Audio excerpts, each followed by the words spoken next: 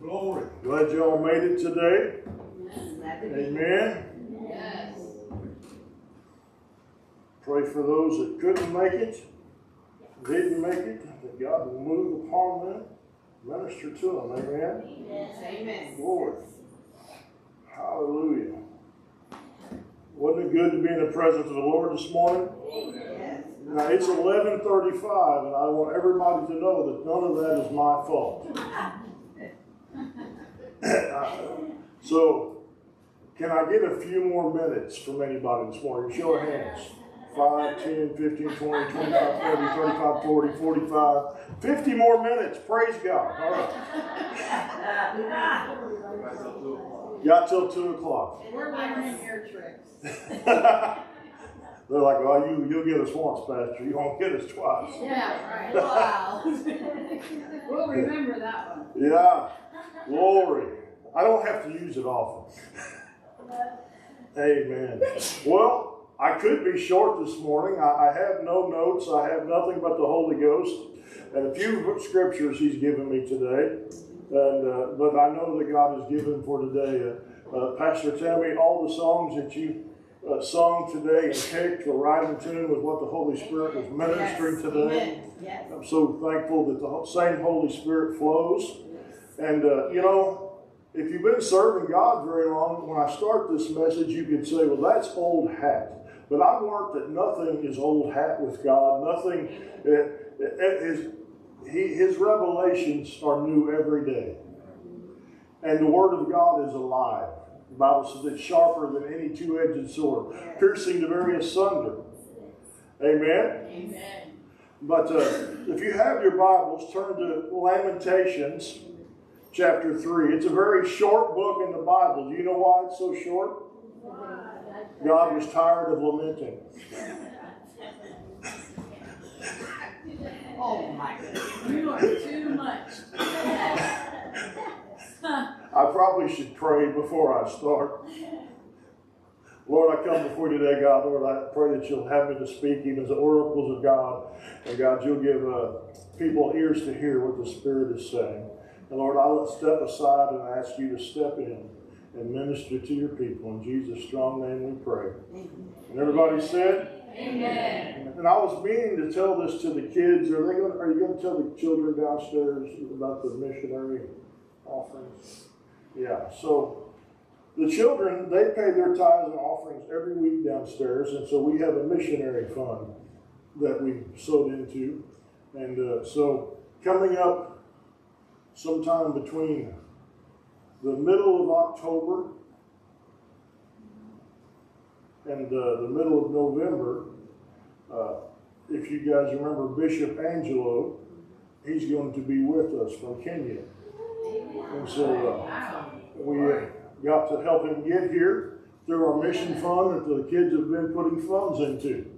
So they they help bring the missionary over to take care of some business. Amen. One part of that business is coming to see you all, and you don't want to miss this time. And uh, by faith, uh, me and him are planning my trip for next year.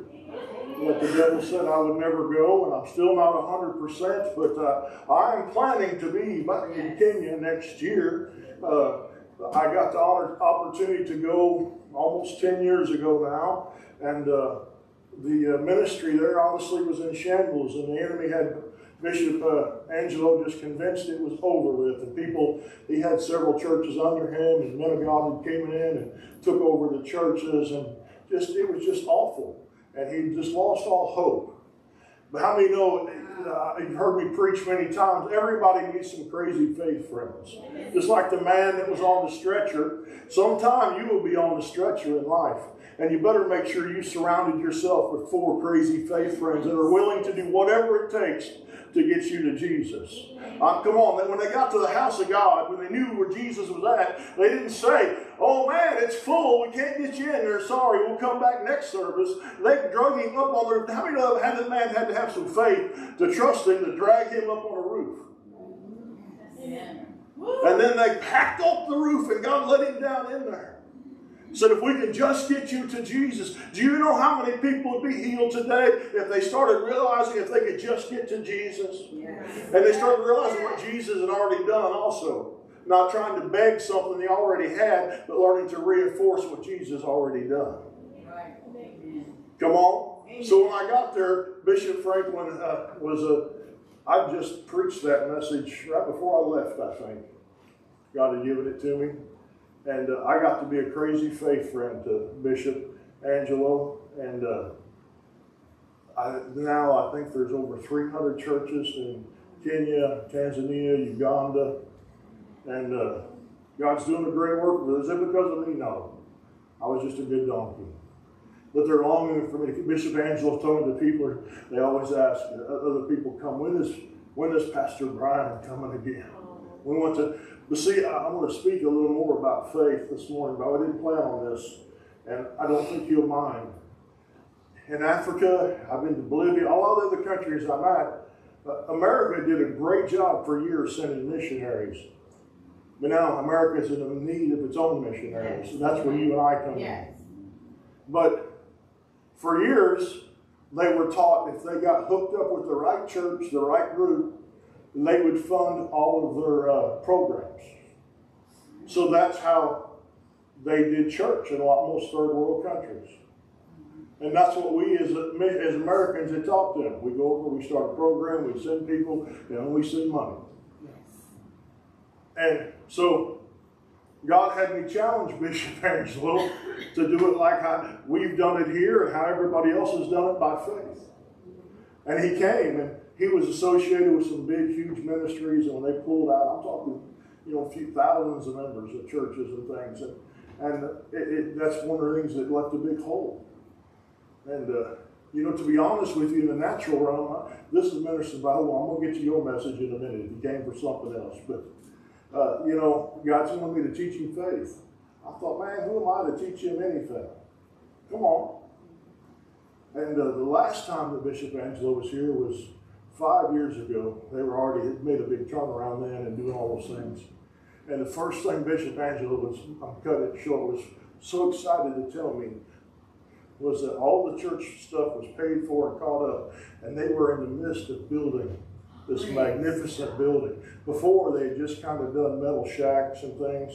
And Bishop Angelo showed me this beautiful church building they were building, stone floors, all the marble stuff. And, and he said, Pastor Brian, the church there has paid for every bit of it themselves. I've taught them tithes, I've taught them offerings, and they're seeing the blessings of God, and we're paying for it all ourselves. We're not dependent on any outside help. We are now planning to start sending people elsewhere instead of trying to get people to come here. Amen. Oh, and so I can't wait to go back. They, they, they, they, had a ceremony and all that and dedicated the building and I wish I could have been there. I was invited, but I can't wait to go back. Not because of the building, but to see the difference in people's lives. Yes. You know, when you're going, because see, when you're always trying to depend on somebody else to get you through, you're always going to be in want. Right. But when you start learning to depend on God, things change. And so, uh, He's coming. It'll be an awesome time. I felt led to share that. I'm so thankful y'all gave me an extra minute, 50 minutes. I just burned up 15. I'll start preaching here in a minute. Well, I guess I'm drinking the water. Glory. Pastor Tammy's staying up here today. I can't tell any stories on her. I should have had a I should have put it in our marriage vows. You're marrying a pastor. Anything you say and do can and will be used in a sermon. She's not smiling. You see here? but today I want to talk to you. Just I want to take a brief moment. I want to talk to you about something that is so simple, so wonderful, so precious, but sometimes so forgotten. And that's about the mercy of God. Where would I be if God hadn't had mercy on me? And you know what? I hate to break this to you all, but I'm still not perfect. I know that's hard to believe. I know. I know. But the longer I serve God, sometimes the more I see my shortcomings, if I'm honest. Where I'm not where I want to be or not where I feel like I need to be. Now, when I feel like I let Him down, man, it's hard. I don't know if you've ever been there, but it's just hard.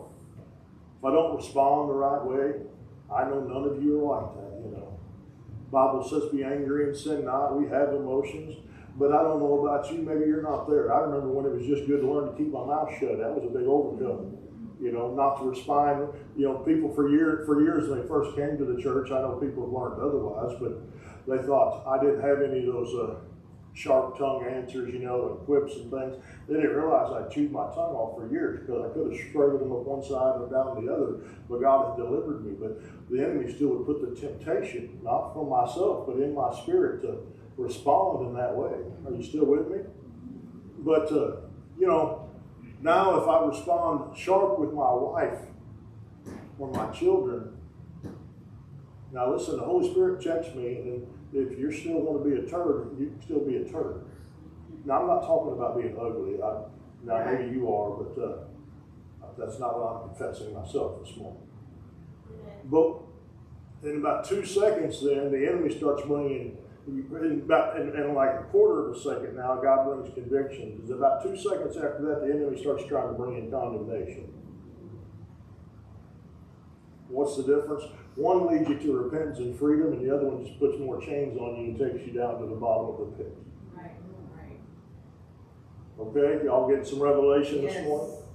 But we're going to look at a verse here where it says, God's mercies are new every morning. Now, he just could have said his, his mercies are forever, which he said in other verses. But I'm so thankful that he spoke to us and said, My mercies are new every morning. Because he knew every morning you wake up, you might feel like you needed a second chance. And no matter how many times you need a second chance, every morning he wakes up and says, I've got a fresh group of mercies. I've got a fresh group of undeserved favor to cover that. Now, does he want you living in habitual sin? Absolutely not. Don't the Bible says don't make a mockery of what he did on the cross. And that's when you just keep sinning when you know you're not supposed to be, okay? We're talking about us being imperfect people. We have a spirit man that's living in a flesh body. You know, my flesh still wants to do stupid stuff, you know, like eat a whole uh, box of ice cream or something, or a whole deep dish pizza, you know. Listen, I'm not up in your Kool Aid. I said me. Do I let my body do that? No. I know it may look like I do, but I don't because it would not be healthy for me. Now that's something simple, but I, I, could be talking about drugs, alcohol, sex. I could be talking about, you know, whatever else you're using to fill your mind with or try to curb your thing. Big smile. How many in here have responded in a way you didn't feel that you were sorry about in the last week? Don't raise your hand. And how many, how many are so thankful that His mercies were new? Yes. Amen. But let me tell you, though, what I've learned is that that's usually not the first thing we apply.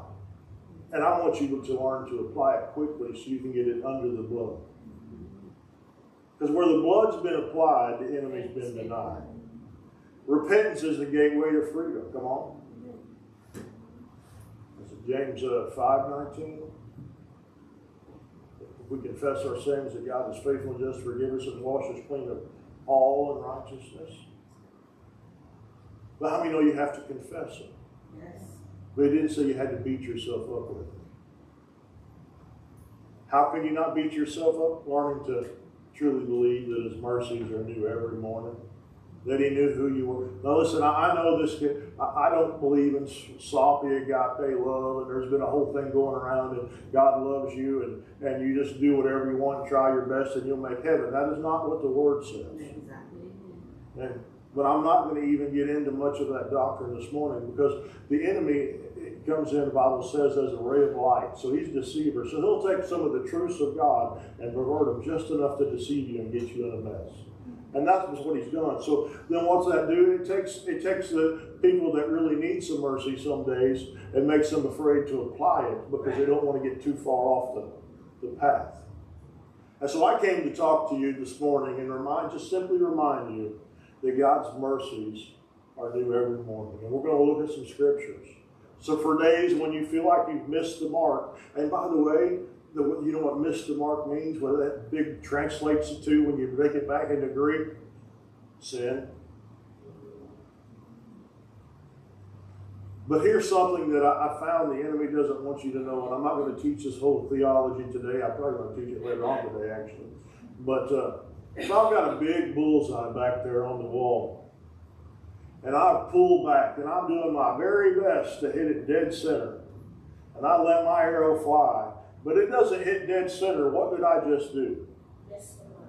I missed my mark that I was aiming for. You know, you can't miss something you're not aiming for. So he, so imagine, we'll talk about grace for a minute. Imagine that whole, you know, you've seen a bullseye. Everybody's seen a target with a bullseye? You know that last outer circle that before, if you don't hit it, you're going completely off the, you're going to miss it and going into air or going to the wall, right? Let's call that outer ring grace. Because God says, uh, you know, His grace is sufficient in your weakness. God's grace is sufficient. A lot of people say it's unmerited favor. That also means it, that, that, that grace that causes you to overcome. So His grace, as long as you're aiming to hit the mark, His grace is helping you get better and better at hitting the bullseye. Not empowered you to stay in sin. Are you still with me? I didn't plan to teach all this this morning, but uh, now what happens if I? Uh, now I'm thankful that He has mercy for me when I miss the mark and that he helps me to start correcting my aim, okay? Now, what happens when I know what I'm supposed to be doing and I'm hitting about half of them at the target, and the other half I'm just letting fly wherever I want to? Uh, that is called transgressions. And the Bible says the way of a transgressor is hard. Why? Because they're stepping outside the grace of God. They're choosing not to stay inside His covering. He's not punishing them. They're, they're choosing to step out of it. Right. And God is allowing that because why He wants, He loves them and He wants them to correct their aim and get back under grace. Are you still with me? Yes. So the transgressions is hard. Not because God wants it, but because people choose to make it that way, right? But guess what's even great news about those that's in transgression? God's mercy is still new every morning. And if they repent and turn, they can get right back under grace. Now, that's not a sloppy agape, it's a painful thing, but I'm so thankful that He knew we were going to need it.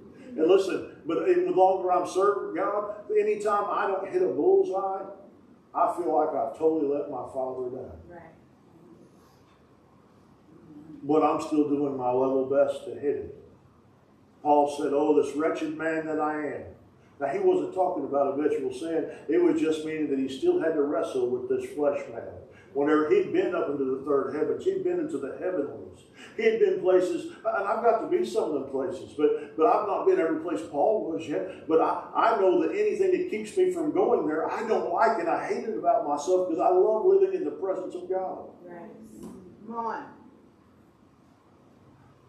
Come on. But I have to still remind myself, as long as I'm on this earth, that His mercies are new every morning. And I can get back into, listen, I don't have to wait for a priest once a year to forgive me. So that, yes. and listen, I don't have to just be called a priest to get into the Holy of Holies. Jesus has atoned so that I can walk in. And I can have that fellowship. And what does that fellowship help me do? Get my aim straighter. Encouraging me in places that I didn't think I once could ever shoot at Anybody still here this morning? Yes. And there's, but there's more that I hate to tell you about the bullseye that I'll go ahead and share this morning. You know what happens if you now listen? Uh, when I was growing up, I, I was taught. I, am thankful for everything I was taught and experiences I had. But we were taught. We were strict Pentecostals, not the bum and long skirt, but we were strict holiness and and uh, you know I didn't think I was going to graduate high school and uh, you know, if you did one thing wrong, you were going to fall away from God and not be saved anymore. I don't believe in once saved, always saved, and I can prove that in the doctrine course if you come. But I also believe you don't fall away instantly. I was afraid if I said one wrong thing that I was going to split hell wide open. But you know what? I can make choices to bring myself outside His covering because then it goes from missing the mark, then the transgressions. And if I keep choosing to slide, now then I'm going to get into iniquity, which is bondage. And that means that I do what I want, how I want, when I want, regardless, even though I know the Word of God, but I'm choosing not to do the Word. Now I brought myself, now it takes now it takes prayer and anointing to to bust me out of that place of bondage that I've been at. But so thankful, even for someone that's choosing to do that, guess what? His mercy is still new every morning. And he will let them, if they will repent, he will put them right back under grace and they can go back to trying to hit the mark. And that is the good news of the gospel today. And I came to encourage you wherever you find yourself on that. The water's just fine. Come on in. Let bathe in the mercy of God. start, start, don't stay down to wherever that last thing ends the enemy's beating you up with and sharpen your aim and start doing better and be encouraged. I feel like I, I, spoke Wednesday night about I felt like a lot of people is under pressure, and I remind them of the scripture in Malachi chapter three that goes that talks about when the after we paid our tithes and offerings, you know, everybody talks about he'll pour out a blessing you can't contain, and everybody shouts on that one, and everybody misses the best part of that whole chapter. And the best part of the whole chapter is it says that when the devourer comes, after you paid your tithes and offerings, when he comes, not if, it says, then God will rebuke the devourer for your sake, and your seed shall come to completion. But you know what happens when you miss it or something? You start losing hope. And then, then you stop, stop believing that. Or, or maybe somebody didn't teach you accurately about giving and tithes and offerings and all the things that go with it. So whenever the enemy showed up, you weren't ready. But don't cast away, your, your Bible says, don't cast away your confidence, which has great reward. You know one of the best ways I found not to cast away my confidence? I'll tell you. Learning to remind myself that His mercies are new every morning. I don't always have to figure out exactly the why. I just got to put the salve on that fixes it. That's I need repent. Yes, I need to do those things. But the mercies are new. I can step right back in there. And I feel like this is for some specific people this morning. So let's lead some. I've quoted you a ton of scripture if you don't know that. How many know we're a word church? Yes. Amen. We don't preach theory around here. None of those things. If it ain't in the word, it ain't. You don't need it. But Lamentations chapter three. Uh,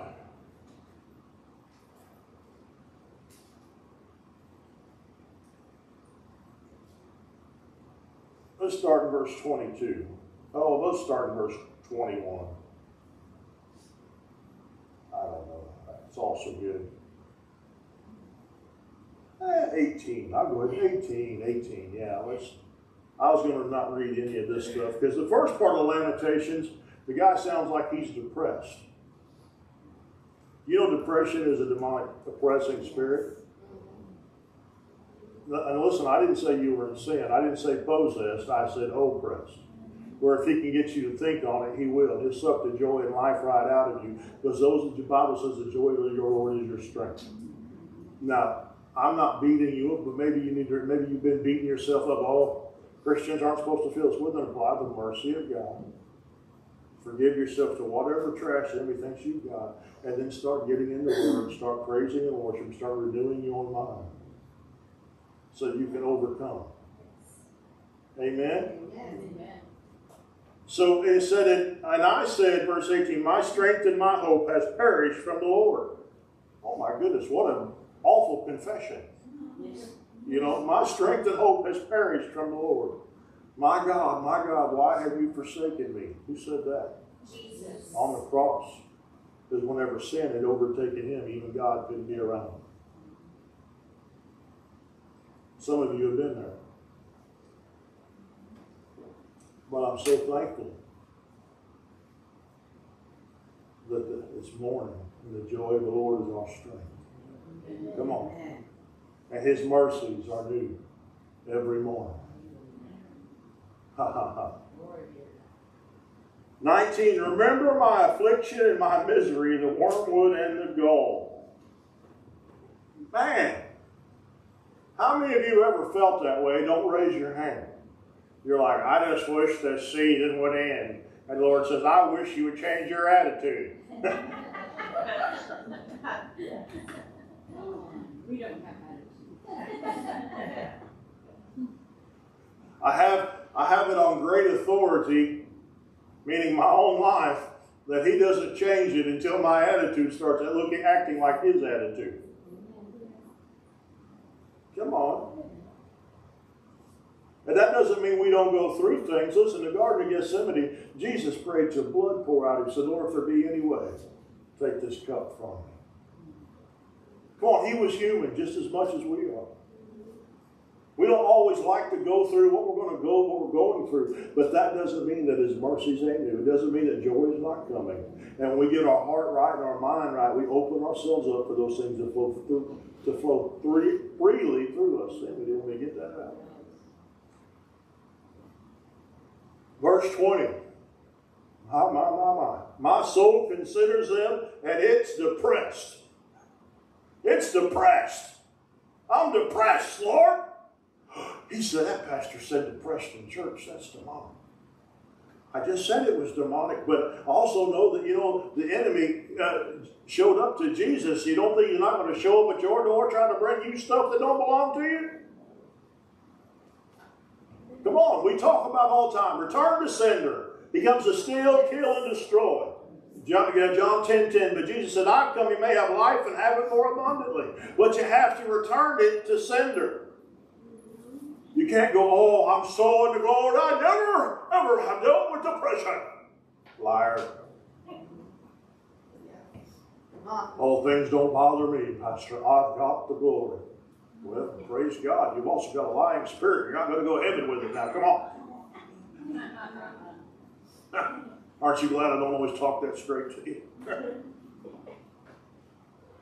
but this, but how did he answer it? See, he didn't stop at just saying, I'm depressed. He went ahead and gave you the remedy right there. He said, But this I call to my mind. Bible said, come on, he said, renewing of your mind. That's what that's what helps us. Think on these things. Philippians 4, where things are lovely, things are pure, things are just, if there be any virtue, if there be any, be any praise. Think on these things. You can't always stop the enemy from sending you mail, but you can stop receiving it or recognizing it when it shows up on your door. And maybe you stopped and, and, took the bait for a moment, but that doesn't mean you have to beat yourself up. You need to apply the mercy of God and then start applying the Word of God like you've seen right here.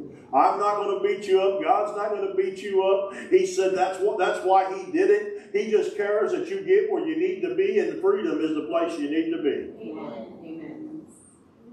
Come on, are you with me? So then he says, uh, But this I call to my mind, therefore I have hope.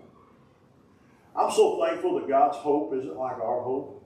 That word hope, when you break it down, you know, all those big fancy uh, dictionaries, it means confidently anticipating the promises of God are yes and amen.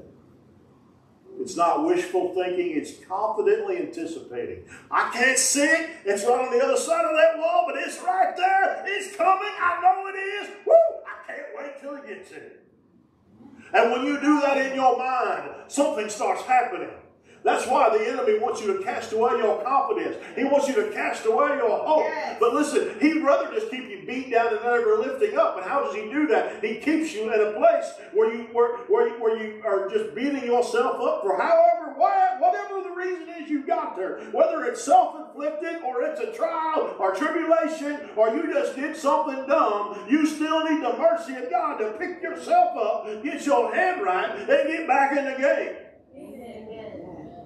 And ain't none of us worthy of His mercy. Ain't none of us good enough. Ain't none of us deserve it. Now, don't be an habitual offender. That's going to bring you a whole other mess. And you'll be out there, what I say, in iniquity. And you'll be in bondage, and then it's going to take uh, all kinds of stuff to get you free. But the good news is, all it actually takes is turning to God and saying yes and submitting. Yes. But for order for you to come to your right mind, it's probably going to take some people praying for you. So don't go that far. That's my advice. Not saying I won't come after you because I will. You may not even know it, but we can do a lot in the spirit realm. The Lord's faithful love does not cease. Listen, this guy's talking about depression, his soul, he's done some things, but he says God's love does not cease. God so loved the world that he gave his only begotten Son, that whosoever shall believe in him. Come on. He didn't say all the saints. He said the world. That meant every sinner. I was a horrible. I, I have some people friends now. They are kind of the same thing I was. Got to lead them to the Lord. They're like, "Oh, you wasn't that bad." I'm like, "Then you must have not really knew him." then I have others that go, "I can't believe you got saved. If God saved you, He can save anybody." True stories. But you know what? I didn't have trouble applying the mercy when I first got saved. It was after I really honed my faith and sharpened my word, really started walking, becoming the man of God that He called me to be. And then when I missed the mark, it was soul crushing. I know none of you have ever been there. But then I had to learn to get the word out and apply the mercy to my life, the same mercy that I'd given other people. Same mercy I'd let other people had, I had to give it to myself. So that I could start being the man that he called me to be and walk in faith. Otherwise, that listen, there's only either you're going forward with God or you're going backward with God. And sometimes the only way you're going forward is through his mercy. So then he goes, The Lord's faithful love does not cease, his compassion does not fail. He can't fail at it. You're not going to show up one day, you know. I, used to do tons of prison ministry. I used to do all kinds of ministry until God spoke to me and said, Listen, we're going to have to just uh, hone a couple of things because you're doing too much. Not that I don't have a heart for it, not that I'm not going to raise up people out of here to go and do it, but he said there's only so much one person can do. But uh, do you know there wasn't a person in the prison that that every all of them when they tell you their story, they're waiting for you to be shocked and disgusted, so that they think that you, there's no compassion or mercy for them.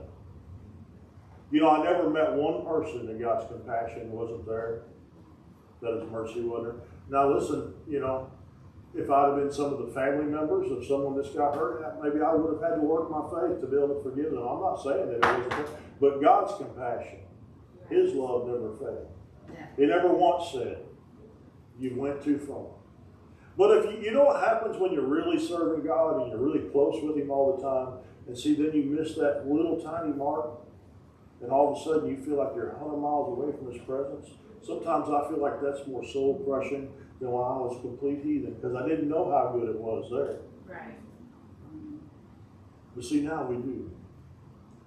But repentance, He's still faithful and just forgive us of all our sins. What did we say the sin was? Missing the mark. 1 John 1 9, that's the scripture. Yeah. And so he's faith, faithful and just to wash the Lord, please to wash us clean from all unrighteousness. You know, I'm so glad he said all. Come on. Listen, I'm not giving anybody here a get out of uh, jail free card this morning.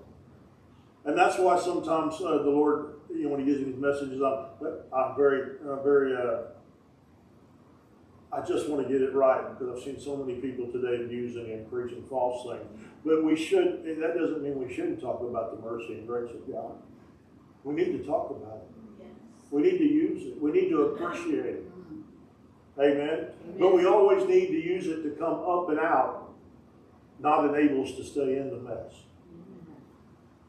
Amen? Amen.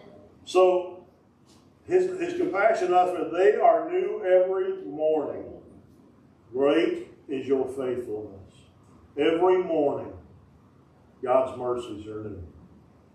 Just think, he, before the world was formed, I, don't know how they had it, because listen, his ways are our ways. If you've been our race about words, his thoughts are our thoughts. Some days I'm gonna have all kinds of questions when I get to heaven. As you've heard me say many times, I don't know how a brown cow eats green grass and makes white milk, but I know God does it, right?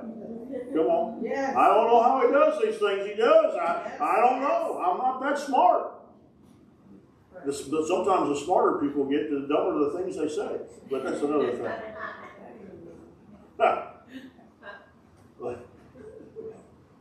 I've been around some people with, never mind, just shut up. But it's, you know, him and Jesus sitting around going, well, how often do you think we should give them some mercy? Just when they ask for it, or how, how should we make this available to them? They're like, yeah. You know you gave them free will, right? Yeah, I do.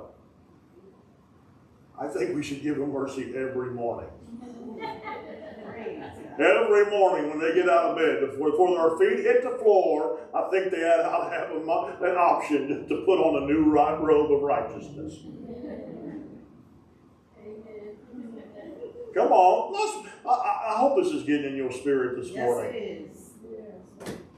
It is. I- I'm not preaching some great big thing this morning, but I, uh, I feel like this is for the, this body. So when you get up in the morning, when, when the devil reminds you of all the missteps of the day before, just wash yourself in the blood of the Lamb, uh, apply the Word of God, and then put on that new mercy, that new robe of righteousness, and say, man, today I, I'm going to do better. I, am going to hit the mark. I'm going to be a, I, I, I- I'm going to make the devil wish I'd never got out of bed today. Yeah. Yes.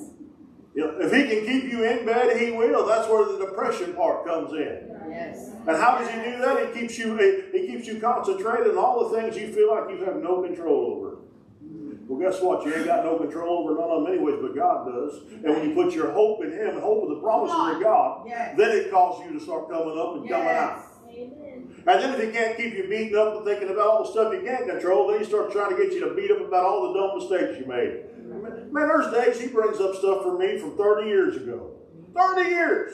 First John 1, listen, he washed it clean. He cast as far as the east as the west, never be remembered again. Why should I be thinking on it? That's where Hebrews 1 9 comes in. He says he'll purge even my very consciousness.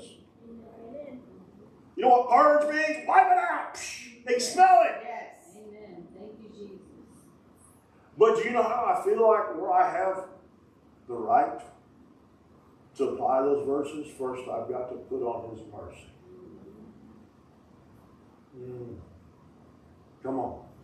You want to start believing you're the head, not the tail. You want to believe you're above and not beneath. First thing you've got to do is put on the mercy of God. Yes. And you know what? Good measure, pressed down, shaken together, and running over is what comes back unto you. If you want mercy, you also need to show mercy. Come on. There was the parable of the man with the seeds. He went to his master. He had great debts, and his master forgave him. What did he do? He went and beat up every little person, owed him, owed him a few pennies, and then, and then he got in big trouble. What does that mean? Listen, I know I need mercy. I know I need compassion. So I've spent my whole life giving more than that to others so that I would always be in the credit section. I'm being honest. And you know what can happen? You can live that way so long, it just becomes who you are, not something you do. Right.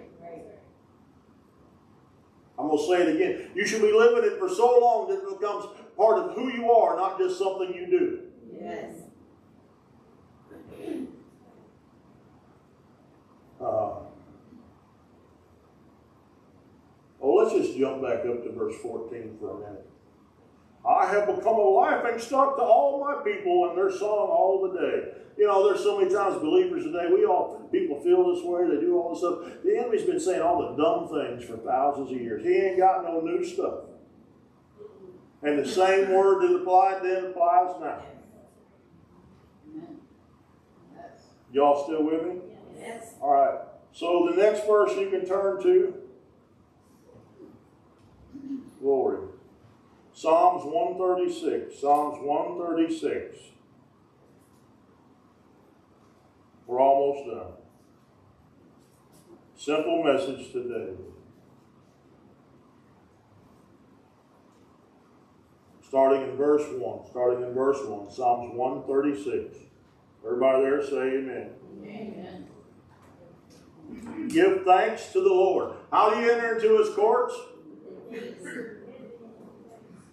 Come on. What we got to be thankful, then we got to be praising. That's how we get into the Holy of Holies. You want to accept His mercy, get a thankful heart. You know, you can't be hateful if you're thankful. Come on. You know, hateful people, they've been meditating on everything made them hateful. That's how they stay that way. And the longer they meditate on it, the more bitter and sour they get. Yes. And they don't give nobody no mercy, but guess what? They're also not giving themselves no mercy. Give thanks to the Lord, for he is good. His loving kindness endures forever. Give thanks to the Lord, to the God of gods, for his loving kindness endures forever. Give thanks to the Lord of lords, for his loving kindness endures forever. Now, I want to tell you something here that they teach you in the cemetery, I mean seminary school, those top Bible colleges and that, those places. They teach you for somebody to really get what you're saying, you need to repeat it three times. And if you repeat it three times, then they'll stick it in their brain more. You know, before man figured that out, it sure looks like to me God started putting it in the scriptures. Because right here, three different times, He's telling you to be thankful and realize that God, His kindness endures forever. He wants you to get that. He repeated it three times. You find other places He does it in the Word of God. Before man thought it was a good idea, God already knew it. There's always get a kick out of that. So give thanks to the Lord, for He is good and for his loving kindness endures forever. To him alone does great wonders, for his loving kindness endures forever. Does he what you think he's wanting you to realize that his loving kindness endures forever? Now here's where a lot of people get in trouble. There's nothing you can do to earn God's love, and his loving kindness goes on forever. Amen. All right?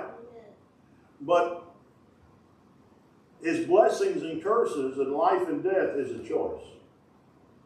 There's nothing you can do to, to, to, uh, accept, to either make him love you more or to make you love make him love you less.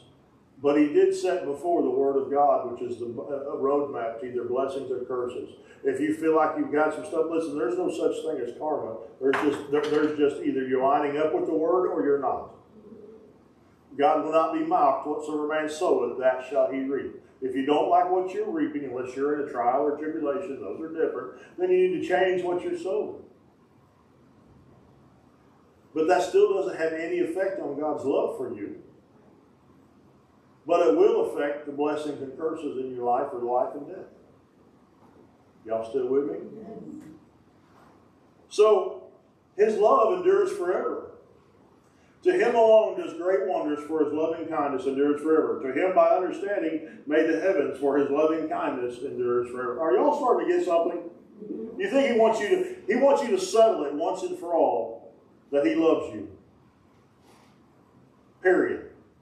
No if, no but, no I did this, I did that. I, he loves you. To him who spread out the earth above the waters, for his loving kindness endures forever. To him who, I missed, missed the verse, verse 5. To him by understanding made the heavens, for his loving kindness endures forever. Back down to verse 7. To him who made the great lights, for his loving kindness endures forever. The sun to rule by day, for his loving kindness endures forever. The moon and stars rule by night, for his loving kindness endures forever. To him who struck down the Egyptian firstborn, for his loving kindness endures forever. And brought out Israel from among them, for his loving kindness endures forever. With a strong hand and without outstretched arm, for his loving kindness endures forever. To him who divided the Red Sea, for his loving kindness endures forever and made Israel to pass through its midst, for his loving kindness endures forever. But overthrew Pharaoh and his army in the Red Sea, for his loving kindness endures forever. Now I want you to realize a lot of these things weren't easy times they went through. But each one of them, his love never failed. Now, they made some dumb decisions in the desert. They got stuck out there for 40 years. They even made some false idols. I mean, how dumb can you be? You know what? We still do it today. I mean, they somebody's like, well, if I had a cloud of fire following me by night and the other clouds got spiritual well, super glory was showed up, I wouldn't make those dumb decisions. I've seen people do it. All the time. But the one thing you need to realize is even when God was to straighten I mean, there was half the group that got swallowed up by the earth. I mean, he was a little ticked a few times. But they made those choices, but what never changed was his loving kindness.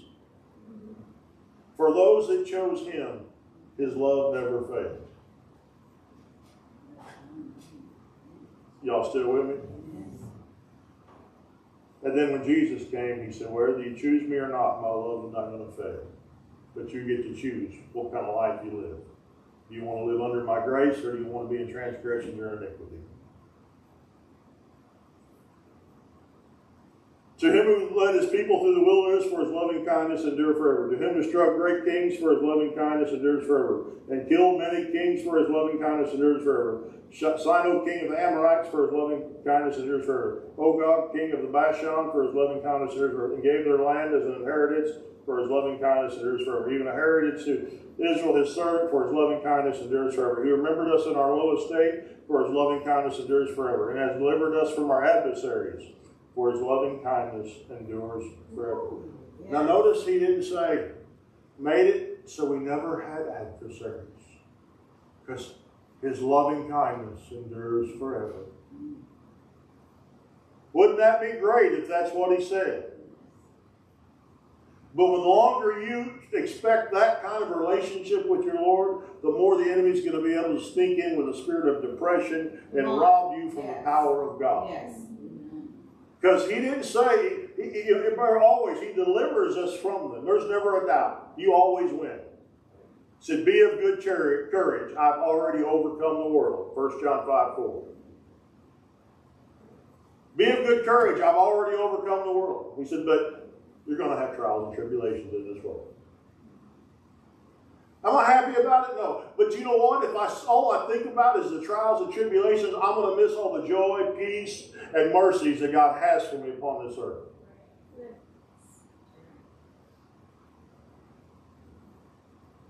God wants to make you a walking billboard of the goodness of God, and that makes you like the children. listen. When they brought the children of Israel out after 40 years, there wasn't one feeble one among them.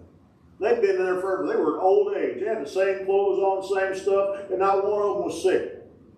We got even better covenant now with Jesus. Amen? Amen. But you know where it starts? Every morning when you wake up.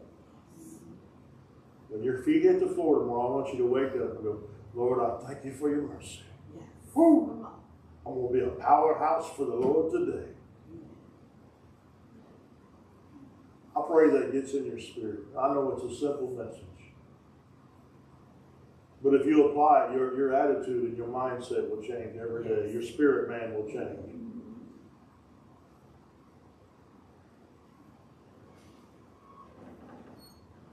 You can keep reading that, but it's still the same message. His love endures forever. No end to it. Amen. Is there anybody here this morning that uh, doesn't know Jesus as a Lord and Savior and uh, needs saved from their own self, if that's you, just raise your hand and we'll pray with you. I see that hand. Amen. Anybody else this morning? Glory. Man, I'm so thankful. Well, let's all pray together, okay? Just repeat after me. Jesus, I believe Jesus, I believe that you died on the cross, with me on your mind. And I believe you went down to hell and whipped Satan and rose again on the third day so that I can be free. And I ask you to wash me clean of all my sins. And Jesus, Jesus, I make you Lord of my life.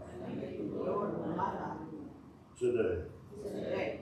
And Holy Spirit, and Holy Spirit, come in, come in and clean house. And clean house.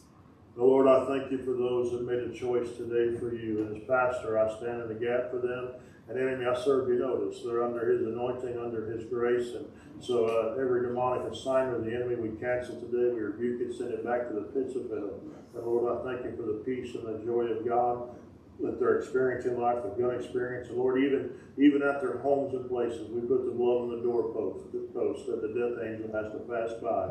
And any that serve you notice, you no longer have a legal right to torment them or be around them. In Jesus' strong name I pray.